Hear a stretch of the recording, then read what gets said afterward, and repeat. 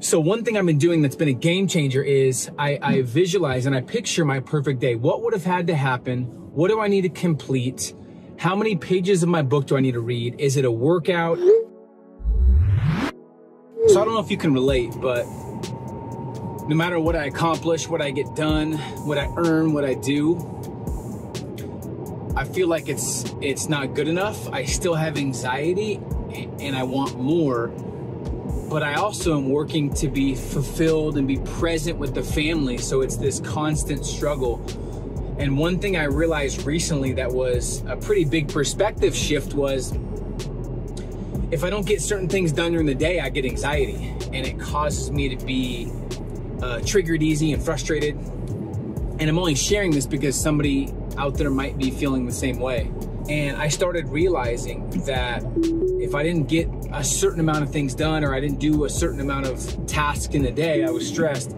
But I never actually defined what my ideal day was. Like, okay, what would make you happy if this is how your day went? So, not having your ideal day planned puts me in a lose lose because no matter what I do, it's not good enough or I'm still stressed. So one thing I've been doing that's been a game changer is I, I visualize and I picture my perfect day. What would have had to happen?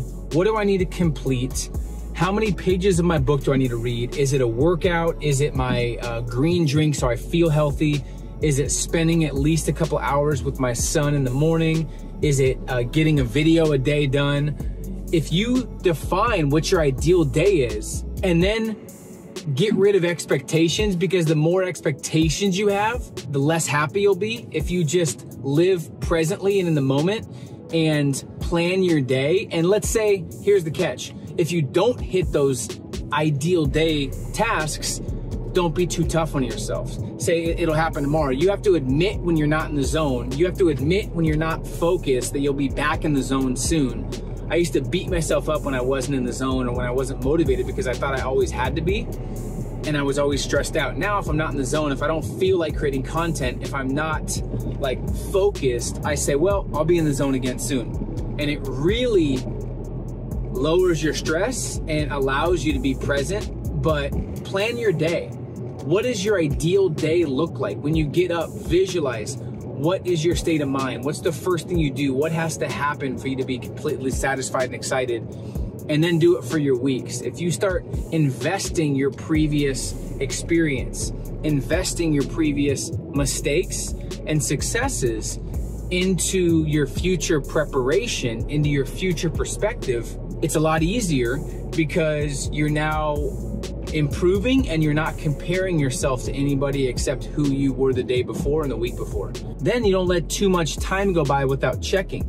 So at the end of the day, I always ask myself what went well today and what can I improve on? In the morning, I always ask myself, what am I grateful for? What am I excited about? And what am I committed to making happen no matter what?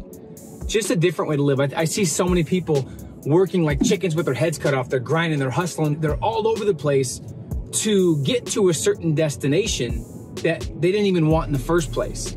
So I think enjoying and respecting the journey and setting milestones along the way and not comparing yourself to anybody because comparison is a thief of joy and the ultimate misery.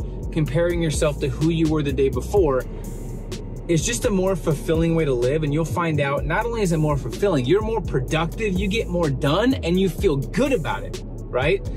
So I'm going through these journeys with you. So uh, it, it's been good to continue to work on myself, my perspective, my productivity, my mood, because the ultimate failure is massive success with no fulfillment, right? And feeling good is a huge, huge focus that most people really don't understand the importance of. I'm going to the chiropractor right now just because I know taking care of my body affects my mind and how I am as a dad, a husband, a son, a friend, a mentor, a coach, a leader.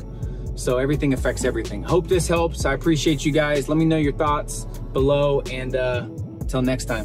Hey, what's up? And thank you for watching this video. If you enjoy this video and this content, make sure you hit the subscribe button below, put the notifications on, and I assure you, you'll love this content in these videos.